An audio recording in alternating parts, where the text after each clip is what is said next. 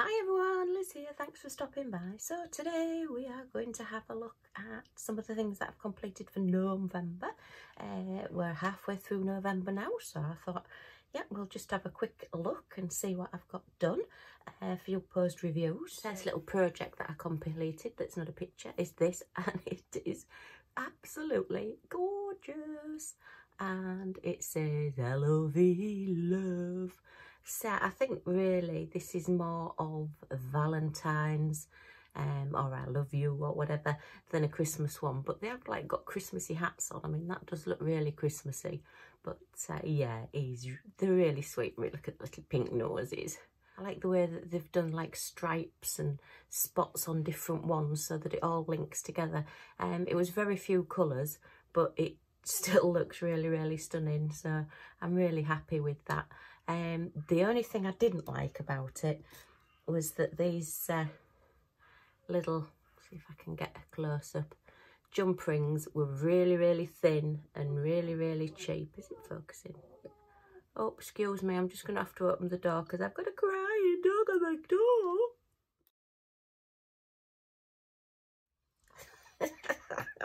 yeah, we've still got Lottie staying with us and she does like to cry if she's shut out of anywhere.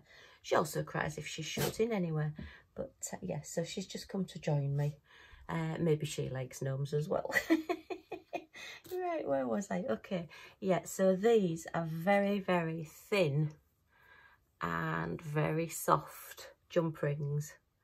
Don't know if you can see the one that I've sort of like tried to uh, manipulate to uh, don't it's focusing, they're very fine. But yeah, I wasn't impressed with those. Even using my jewellery pliers, they were just really bending, really soft and going out of shape. So what I've done, I decided to put something a little bit more substantial there. And I've used some of my large jump rings um, that I had in my stash from my jewellery making days. So that has allowed me to, yeah, put a, a substantial chain on, shall we say. but yeah, no, I mean, I won't be even keeping those because they're, they're just not good. This is um, just as over the years I've collected uh, various jewellery making items and just pop them in here. Um, these are the jump rings that I got. I think I got them from uh, eBay quite a long time ago. Um, but yeah, they are metal. They look plastic actually, but they are metal and they're really nice, substantial quality, good for hanging things. So, you know, these aren't going to be going anywhere. So then the second one I did was the little Christmas gnome. I think quite a few people have done this. I think quite a few people have done this one. It's really sweet. I love the ABs on like the little flowers that they've got here, look. They're all uh, an AB. So, but yeah, I just thought that was really, really sweet. And that one will be going up as well. Um, he's got a little present here. It does look a bit odd. These are his hands here. And I must admit, it does look odd. The hands not being um, diamond painted, not got any gems on. Doesn't look so bad sort of on this side and this side. But as you walk past this from a distance, it looks like you've missed a bit. So I may, because this is really, really sticky, I may put some of this colour or I've got a very, very pale pink that's nearly sort of the white colour that uh, these hands are. I may just put some drills on that anyway.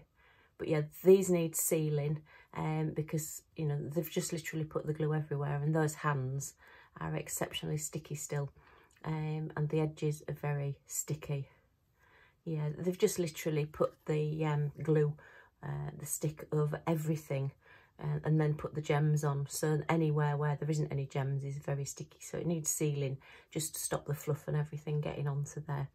Um, but I thought I would put my hangers on first because uh, well just because I wanted to. And again I've used my uh, more substantial ones. They are quite large holes that they've put in these so you know the larger rings will fit through. And I just think that'll just make it a bit safer while it's on uh, the wall. So that's number two done. And then I've done my little key rings. Uh, if you remember these were really really sticky. And they are double-sided but I think they've come out really well. You know, the, the detail does actually show up quite well. This one has got his little candy canes with his bow and I'm really pleased with these. Again, very sticky on the bits on the edges, so they will need to be sealed. And actually, these didn't come with any jump rings whatsoever. So there was no way of attaching that to the keyring and that little beaded chain keyring, whether that was supposed to go through, I don't know, but actually the holes aren't big enough to put that through. I did try, um, and then I thought, oh, this is ridiculous, just go to your stash. Um, and I ended up putting the bigger chains on again because they're more substantial. The only trouble is they don't match the lobster claw. If you can see, the colour's not quite, yeah, the colour's not the same. So that's going to drive me nuts. So I may have to rethink that one, but that's what I've done so far. Um, and then this one, again, I still think that's a little girl. It, I know it's a present that uh, it's holding, but it just makes it look like a dress to me. so that's number two, all completely diamond painted. Um, again, they will need to be sealed. I think that's my favourite. I just think that's so funny.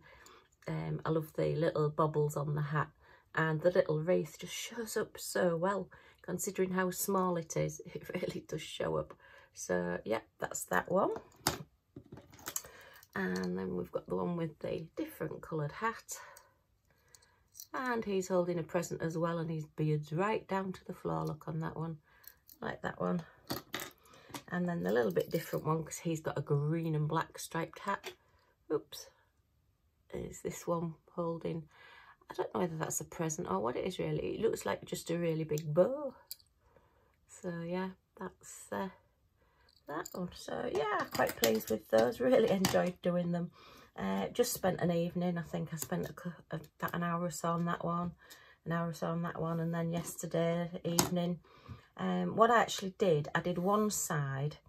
Um, and then I left them uh, for about an hour, two hours so that the one side, you know, so that the drills would stick, um, just settle in place. Whether that makes a difference or not, I don't know. And then I did the other side, but I did find that leaving them for that space of time rather than turning them over and doing them straight away did seem to stop um, when I was doing the reverse side, did seem to stop the beads, uh, the drills from this side from moving.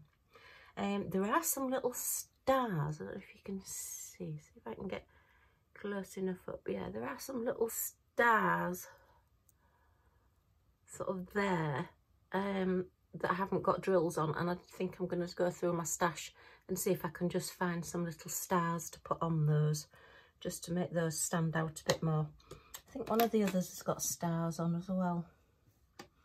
Can't remember which one it was now, but one of the other ones has got a star on. And I thought, yeah, I'm just going to look through and see if I can find that star. So that's all the little uh, projects done. And then I've done four, they've just been special drill canvases so far. Um, I've shown you my Be Happy, all completed. So that's that one. As you can see now, they are really flattening out. I've been keeping them under something heavy. So that's that one. And then I've done my Christmas ones. And I love this one. I think if you saw my unboxing, you remember I was really uh, looking forward to doing this to see how that would sparkle and look at the AB the different colours showing on that. It's got AB coated um, like blue drills going around the edge of the box and then on the box we've got a little marquee and a little round. And oh, it's not quite showing up but the sparkle on that is fantastic. And then all his ribbon look that he's going to wrap it round with. And I think even though you can't really see his eyes, it's just by the way he's, he's sat there, I think it um, he looks really pleased with himself. but I think even the little detail that we've just got um, your silver gems at the top there, which is just giving you the firelight over the top of his hat. Really pleased with these, love the design. And uh, yeah, these are going to go up um, in my little gnome corner. I will uh, show you a photograph once I've got gnome corner done. and then this was Christmas Santa outside. And again, I was really pleased with this one. Look at that. You know, even down to the little detail of the larger gem in the middle of his little pom-pom there. And then we've got one on the present on the bow. and just round his hat. But I just think you can just see the expressions. They just really come to life once they've been diamond painted. Um, and again, it's got your blue gems. I think with these black ABs, I can't quite remember. But as I've said before with other uh, special drill projects, if these were actually um, black, I think it, it, would take away from the picture.